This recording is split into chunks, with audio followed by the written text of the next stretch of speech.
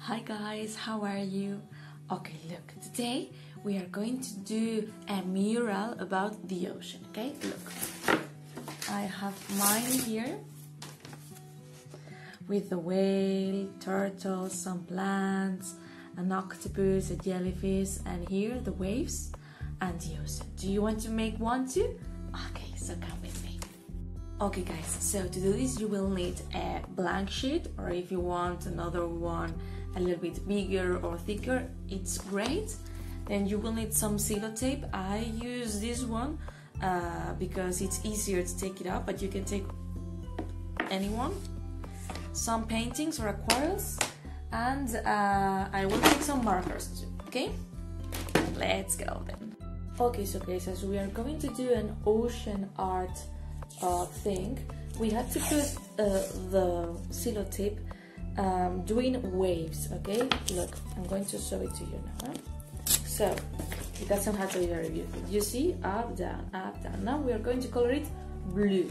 You can take blue, green, dark blue, dark green, okay? The colors of the ocean. I'm going to mix all of them, okay?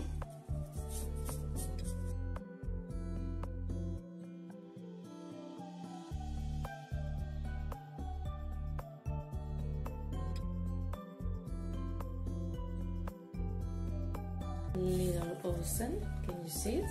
And now we have to uh, let it dry okay?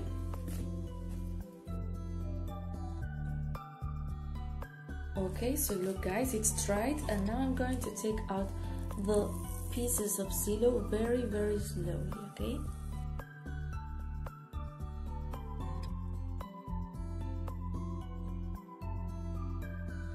I have here my little ocean and now what is missing here the animals, of course, and the things that are in the ocean. So now, with markers, we are going to paint it, okay?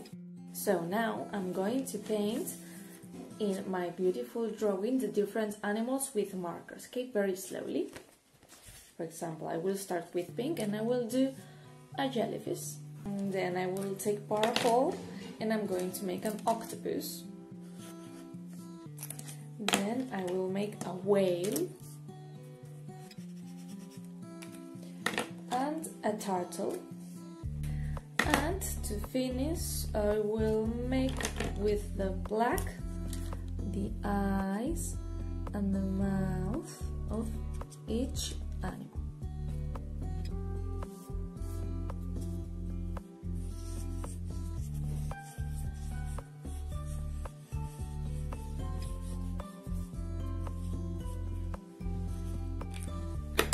So look guys, this is my ocean mural. Do you like it? Now you can do it yours. Okay, so guys, this is my drawing. You can do other type of waves or other animals. Here I have a whale, two turtles, some plants, a little jellyfish, and an octopus. Hope you like it. You can do it at home yours too. Bye bye.